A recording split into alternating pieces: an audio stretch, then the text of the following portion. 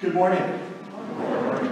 Welcome to the Lord's house as we gather together for worship on this, the first Sunday of Advent. We begin a new church year, and so many times we'll even go out, go and say, Happy New Year, because uh, we're, church is always a little bit ahead of the curve with the rest of the world, despite what it looks like. Uh, to the contrary, we start our, our new year of celebration beginning uh, now with, looking, with this time of looking ahead. We begin the liturgical church year over again, celebrating the advent, the coming of Christ for us. We remember Jesus entering Jerusalem on Palm Sunday, especially as we look at our gospel reading for today. The shouts of the people remain our confession of faith year in and year out. Lord, save us. Blessed is he who comes in the name of the Lord. Lord, save us. That's what that word Hosanna means, is Lord, save us. Today we celebrate the blessed sacrament of Holy Communion, in which we recognize the true body and blood of Christ given and shed for you for the forgiveness of your sins. Uh, please be sure that you have read, you understand, and you agree with our communion policy printed inside the front cover of your bulletins um, if, uh, um, if you wanted to, to participate. Um, also, knowing that even if you don't aren't going to be receiving Holy Communion, you may still come forward with your arms crossed uh, in front of me and I will give you a blessing. Uh, so you can still come forward if you want to uh, for that. Today we also celebrate the rite of confirmation for two of our youth, Aiden Harris and Colin Harris. We've been going through the Bible and Luther's Small Catechism for the last two years, and it is a blessing to be here and share with them as they are confirmed in their faith. Please remember to leave uh, the hymnal that you're using down on the pew after service so that we can uh, wipe them down before uh, restocking them. Uh, what other announcements do we have that we need to be brought to our attention? Yes, Nancy. In honor of um, our confirmands, um, they have brought cookies, which are individually in Ziploc bags, to um, the congregation and them to celebrate this day. Ooh. I just looked up, they, whoever made them did a wonderful job. Uh, and also, we now have the giving tree up, so it's now uh, ready for Christmas. It's for Lutheran Social Services. They give me a couple items that it's okay to bring. So the list is in your mailbox, but if you rather give cash or Kroger gift card, that would be greatly appreciated. It makes it easier that they can easily replace items that they don't get in. They just go up to Kroger's real quick and get back, and so on. And last one is the seminary students. Yes, their baskets are still back here. Um, I hope to be able to get them out of here by the end of this week. So if you didn't bring your stuff so on, you want to bring it by the church sometime this week, great. Probably on Saturday, everything will be gone, so I can get that out to them. Okay, thank you for those. Anything else needs to be brought to our attention? Yes, Bob. Yeah, we put the markers out in the parking lot to aid the snow plowing people. Uh, watch out for them. The one out in the front corner seems to be problematic once in a while. So, wa- Watch when you're coming in and out of the parking lot so you don't, don't, you know, scrape your car on all those things we got there, so. I mean, at least, at, at least, at least we're in Ohio instead of Wisconsin where I was before, because, you know, the nice thing about Ohio for winter is snow comes and it goes away. And then it comes and it goes away. In Wisconsin, snow comes, and then more comes, and then more comes, and it just builds up all, all, all winter long. So it's nice to be in a place where it comes and goes away. Okay, was that it? Any other announcements? Not seeing anything? Okay. Our order for worship this morning is Divine Service Setting 1 that begins on page 151 of your hymnals. But first, we begin this morning with singing together our opening hymn, number 331 in your hymnals, The Advent of Our King, number 331. Please rise.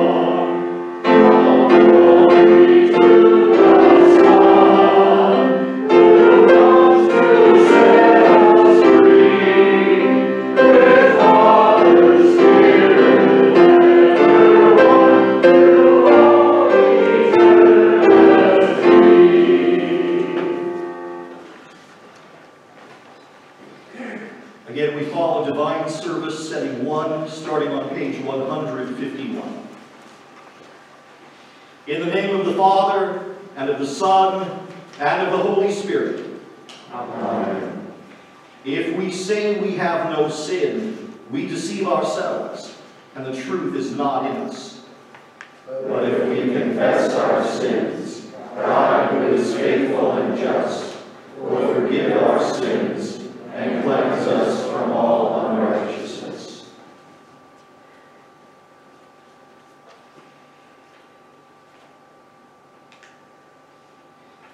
Let us then confess our sins to God our Father.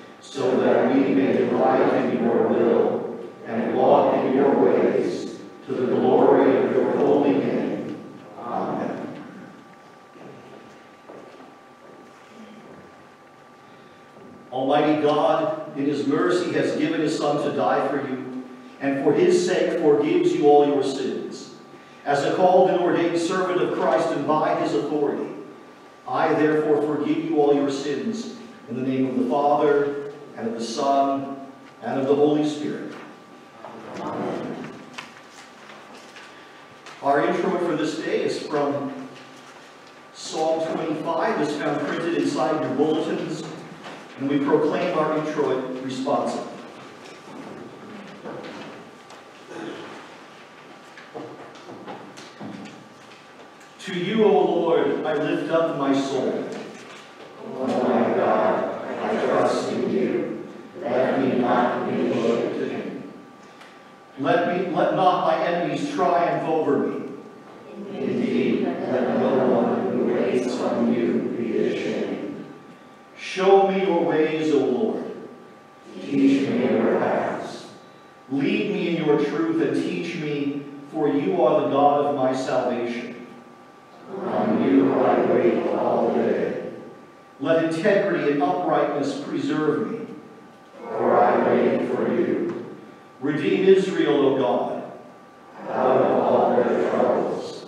Glory be to the Father, and to the Son, and to the Holy Spirit, as it was in the beginning, is now, and will be forever.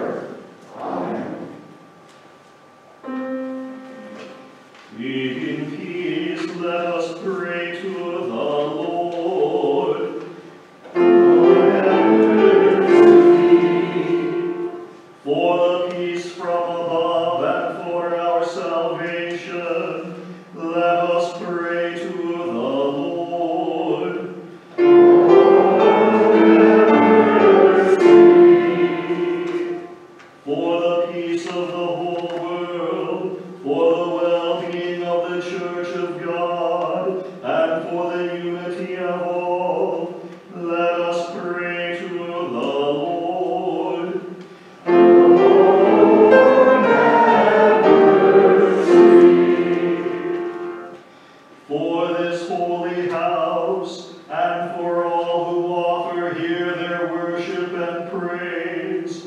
Let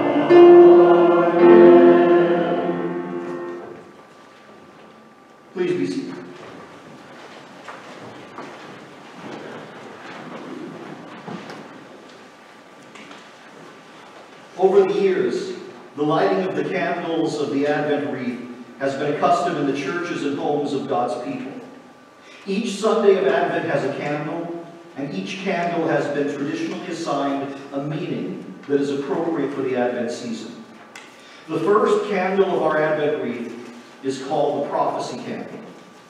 As we begin this Advent season, we are reminded that the coming of the Christ is the fulfillment of God's prophetic word. Even in the darkness of life's chaos and confusion, the light of God's promise shines forth brightly. The prophecy candle assures us that in the coming of Jesus Christ, our God does keep his word.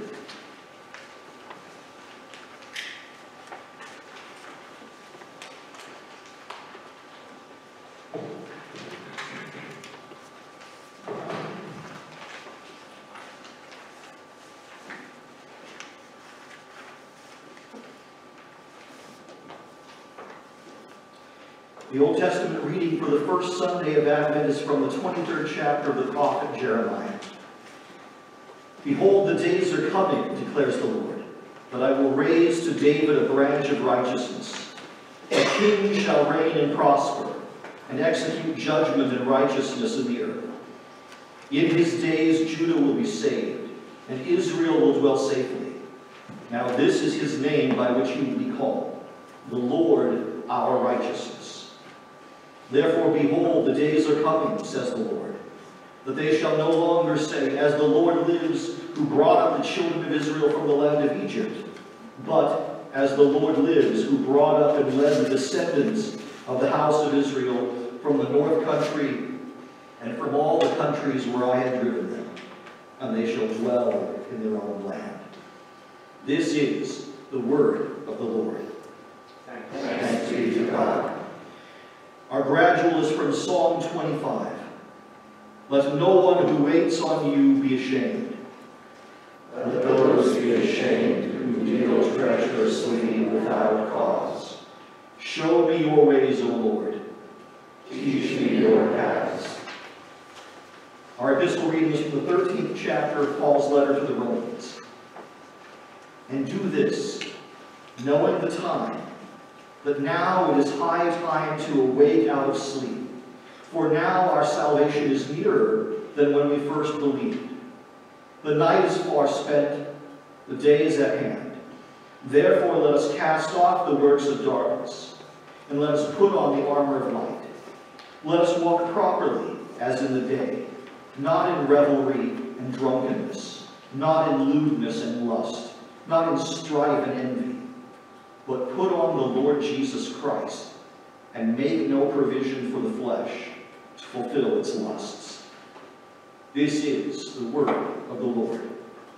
Thanks be to God. Please rise for the reading of the Holy Gospel.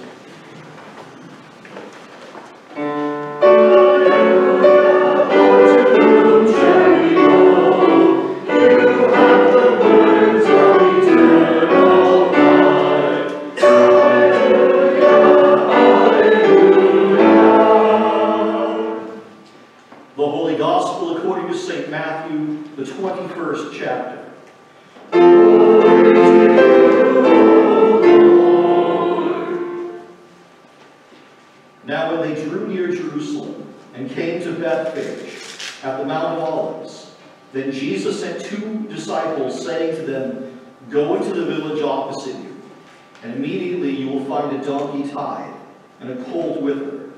Loose them and bring them to me.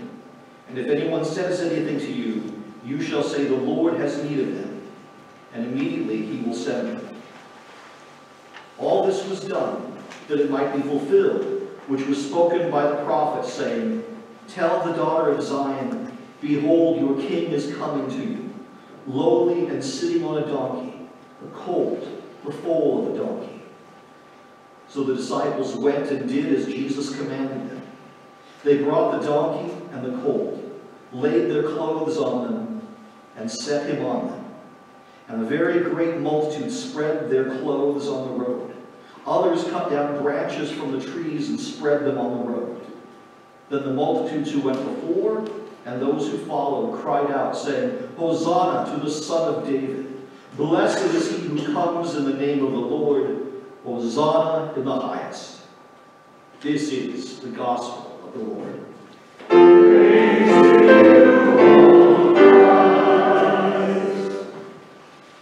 We continue now with sharing our Christian faith together using the words of the Nicene Creed as found on page 158.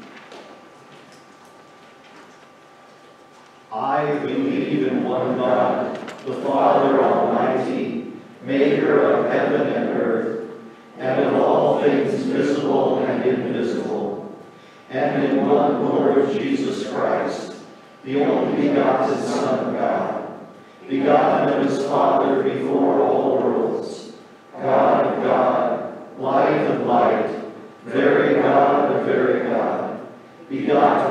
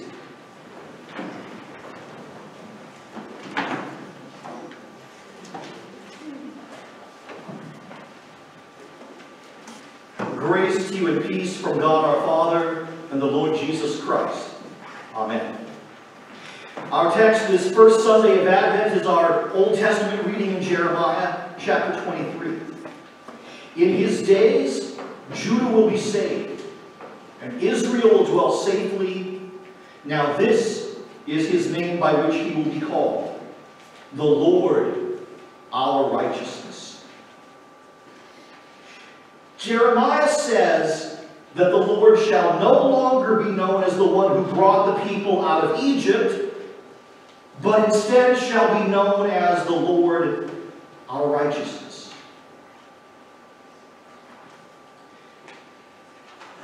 The chief event in the earthly life of Aiden and Colin was their birth. The chief event in their spiritual life was their baptism. Up until now, they have been learning and growing in the faith taught to them by their mother and the rest of their family in faith here at Concordia, as well as from other Christians in their life.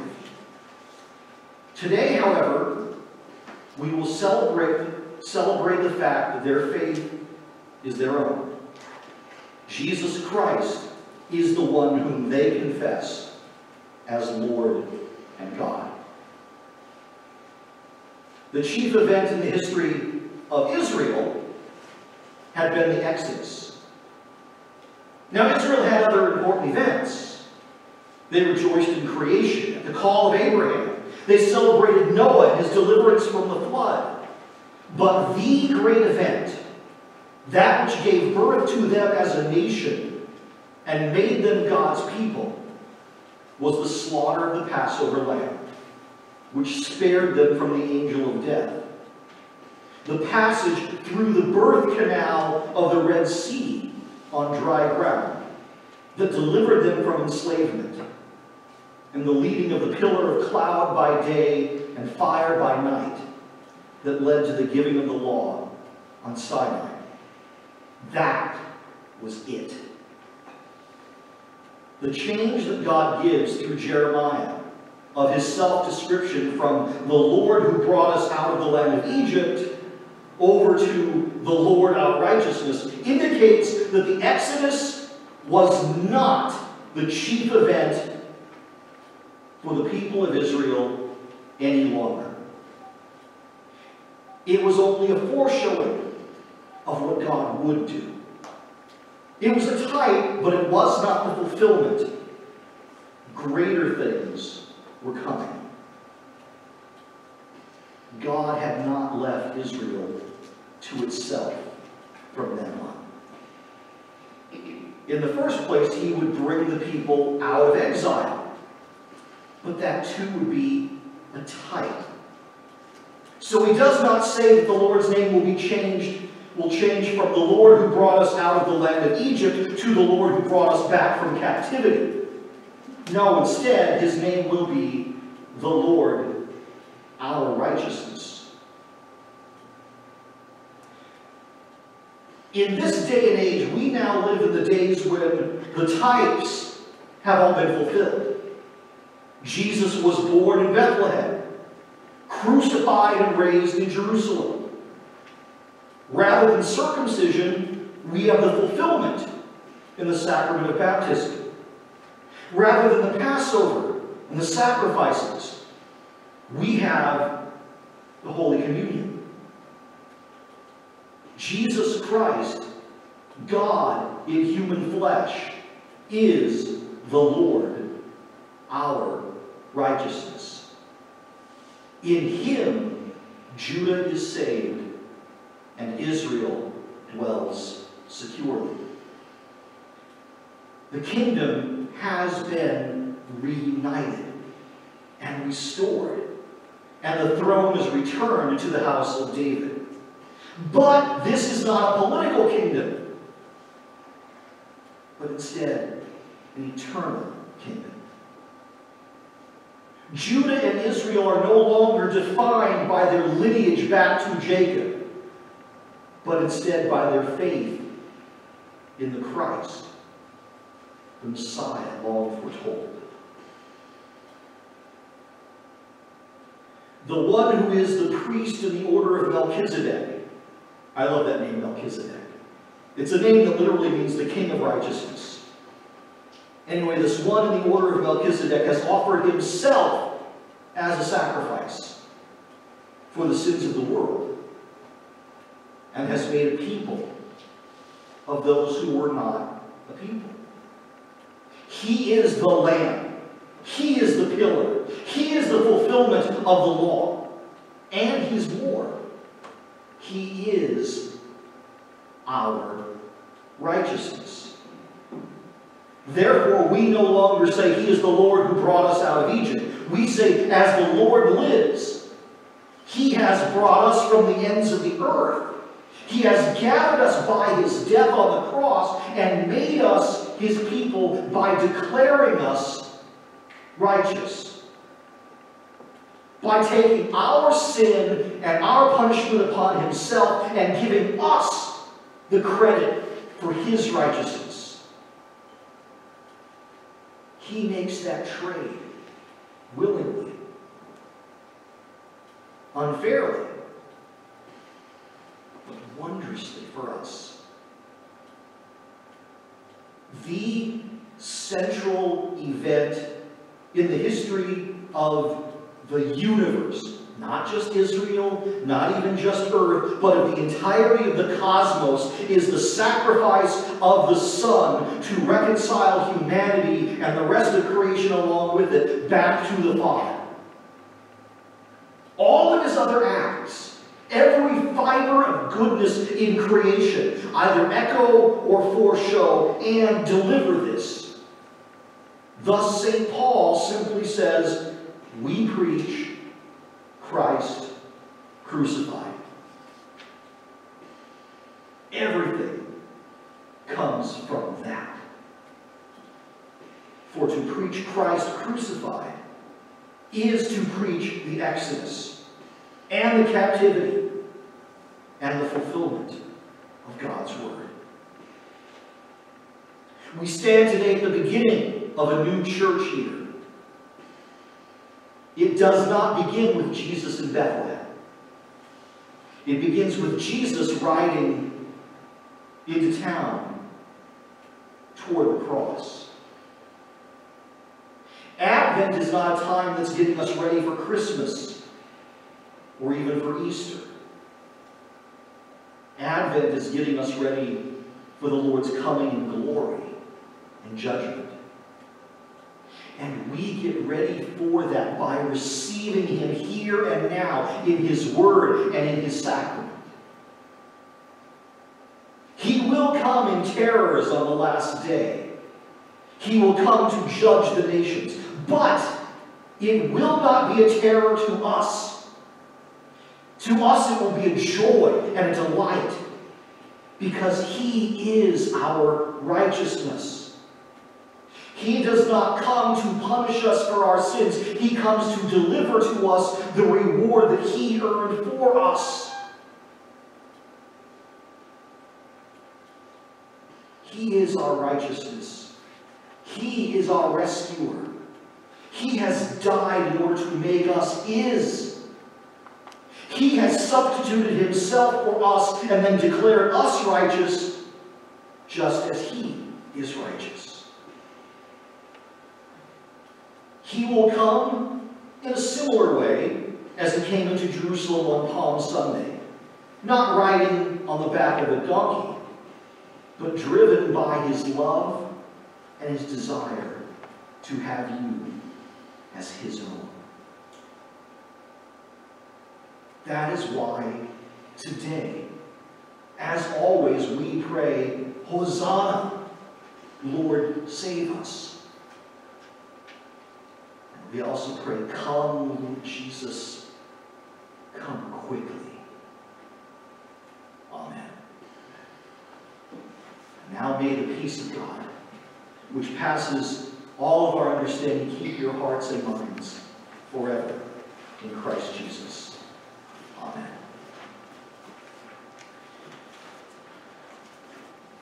We continue now with singing together our offertory. It's found beginning on the bottom of page 159. What shall I render to the Lord? Please rise.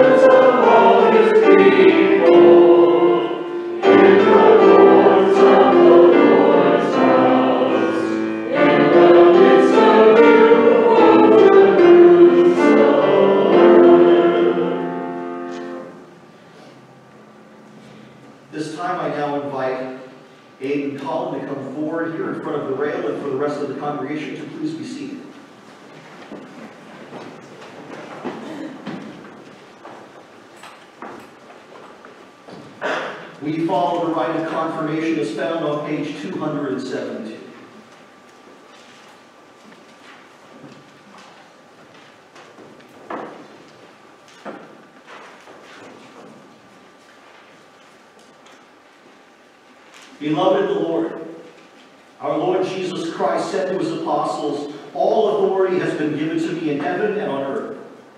Therefore go and make disciples of all nations, baptizing them in the name of the Father, and of the Son, and of the Holy Spirit, teaching them to observe all things I have commanded you. And lo, I am with you always, even to the end of the age.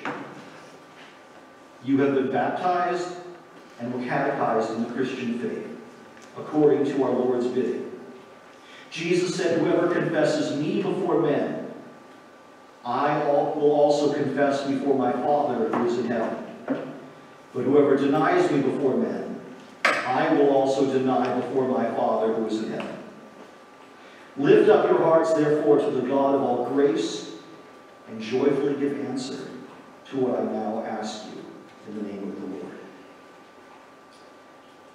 Do you this day, in the presence of God and of this congregation, acknowledge the gifts that God gave you in your baptism? If so, then answer yes, I do. Do you renounce the devil? Do you renounce all his works? Yes, I do you renounce all his ways? Do you believe in God, the Father Almighty? Yes, I believe in God, the Father Almighty. Do you believe in Jesus Christ, his only Son, our Lord?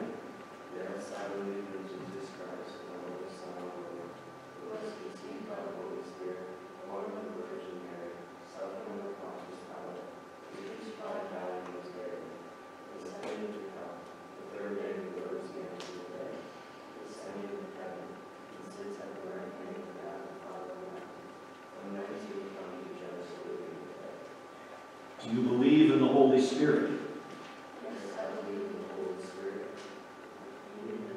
Holy Christian Church.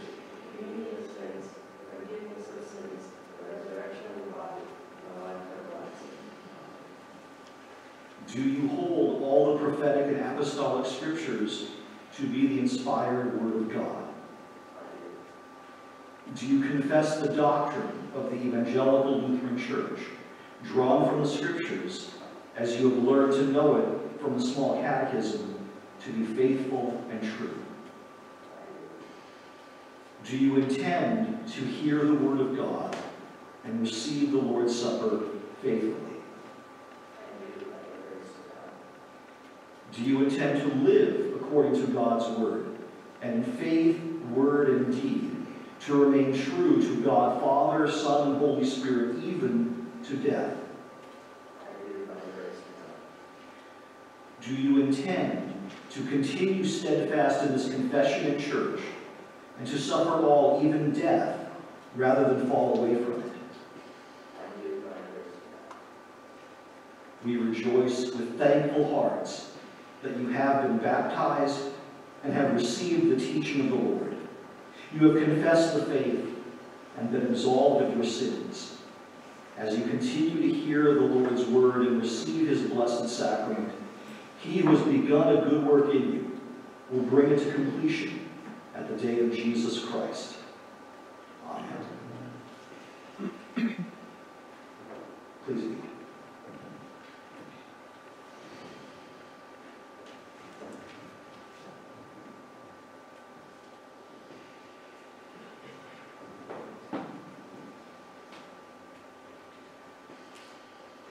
Aiden, the Almighty God, Father of our Lord Jesus Christ, who has given you the new birth of water and of the Spirit, and has forgiven you all your sins, strengthened with his grace to life everlasting. Amen. Your confirmation verse is Isaiah chapter 41, verse 10. Fear not, for I am with you. Be not dismayed, for I am your God. I will strengthen you. I will help you. I will uphold you with my righteous right hand.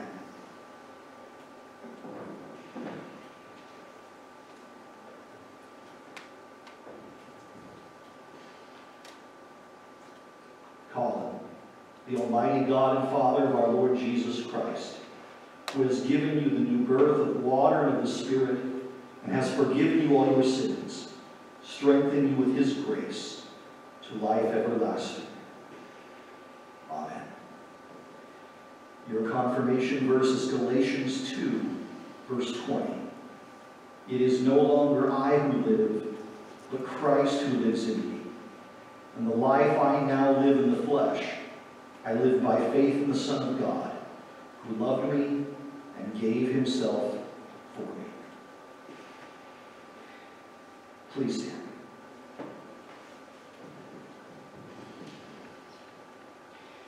Let us pray. Lord God, Heavenly Father, we praise and thank you for your great goodness in bringing these your sons to the knowledge of your Son, our Savior, Jesus Christ, and enabling them both with the heart to believe and with the mouth to confess his saving name. Grant that bringing forth the fruits of faith, they may continue steadfast and victorious to the day when all who have fought the good fight of faith shall receive the crown of righteousness. Through Jesus Christ, your Son, our Lord, who lives and reigns with you in the Holy Spirit, one God, now and forever. Amen. Almighty and most merciful Father, in the waters of holy baptism you have united your children in the suffering and death of your Son, Jesus Christ, cleansing them by his blood. Renew them in the gift of your Holy Spirit, that they may live in daily contrition and repentance with a faith that ever clings to their Savior. Deliver them from the power of Satan, and preserve them from false and dangerous doctrines, that they may remain faithful in hearing Christ's word and receive his body and blood. By the Lord's Supper, strengthen them to believe that no one can make satisfaction for sin but Christ alone. Enable them to find joy and comfort only in him, learning from this sacrament to love you and their neighbor, and to bear their cross with patience and joy until the day of resurrection of their bodies to life immortal. Through Jesus Christ, your Son, our Lord, who lives and reigns with you and the Holy Spirit, one God, now and forever. Amen. Peace be with you.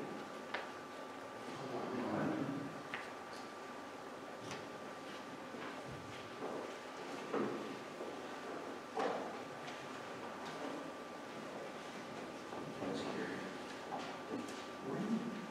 Your own Lutheran Book of Prayer, the wall cross, and your confirmation certificate. So, welcome as our newest confirmed community members of Concordia Lutheran Church. Go back there, Susan.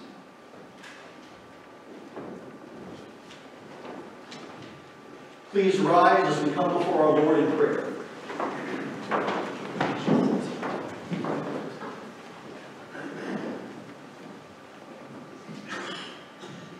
Let us pray for the whole church of God in Christ Jesus and for all people according to their needs. To you, O Lord, we lift up our souls, and in you we put our trust. Do not let us be ashamed of our hope, but come quickly. Sustain us by your Holy Spirit, that we may have joy at the advent of Christ our Savior. Lord, in your mercy, Hear our prayer. Gracious Lord, awaken your saints from sleep and idleness as we enter another church year.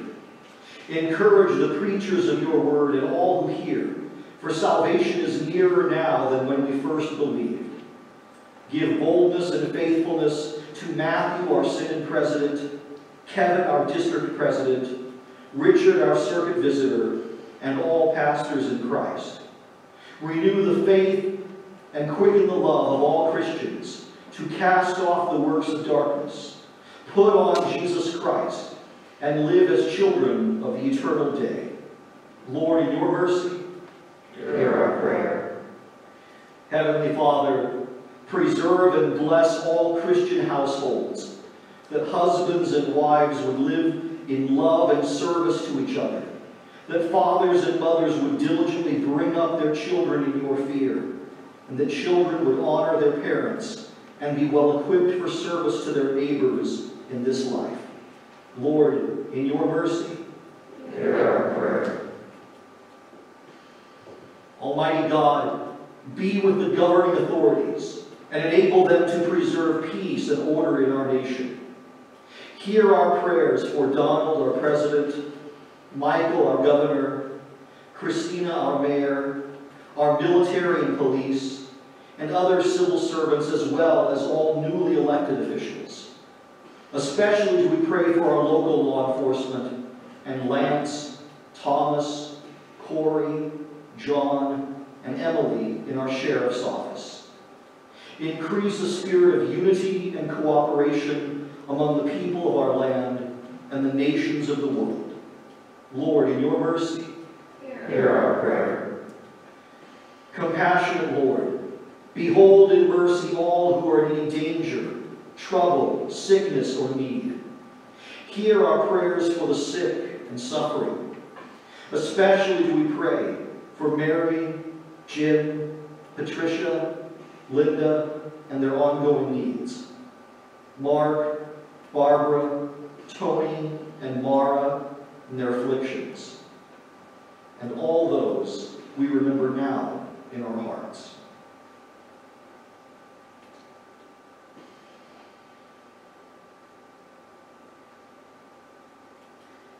Give health to our world and bring the pandemic to an end. Comfort all who mourn and sustain them with a confident hope in the resurrection. Lord, in your mercy, Hear our prayer. Father of all blessing, we offer thanksgiving for the blessings you give to us, rejoicing in all your gifts of life, especially all those celebrating birthdays, as well as Gordon and Glenna and all those celebrating anniversaries. Lord, in your mercy, Hear our prayer.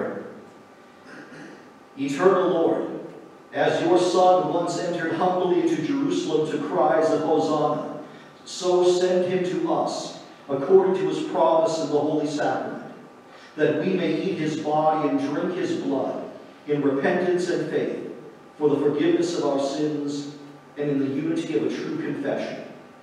Lord, in your mercy, Hear our prayer. into your hands, O Lord, we commend all for whom we pray, trusting in your mercy through faith in Christ Jesus. Amen.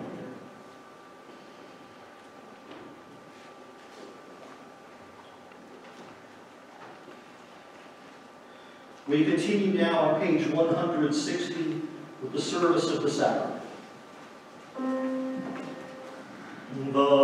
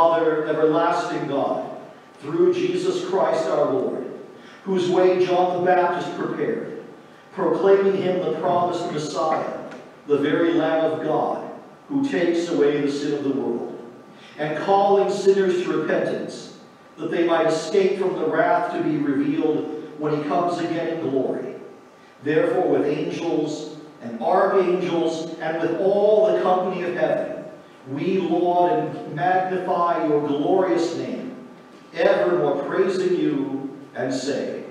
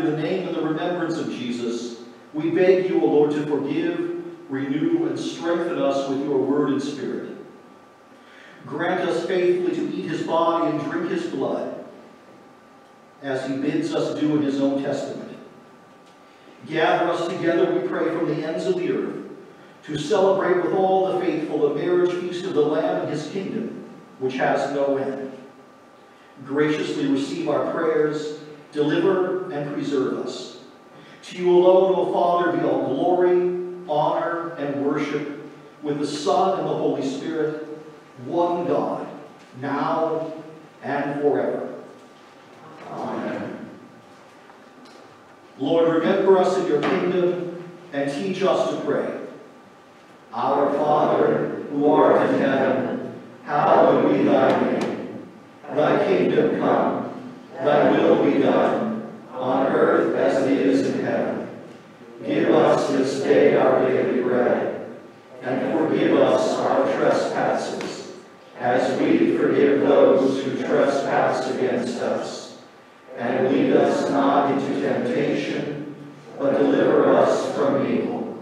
For thine is the kingdom, and the power, and the glory, forever and ever. Amen. Our Lord Jesus Christ, on the night when he was betrayed, took bread. And when he had given thanks, he broke it and gave it to the disciples and said, Take, eat. This is my body, which is given for you. This do in remembrance of me. In the same way also he took the cup after supper.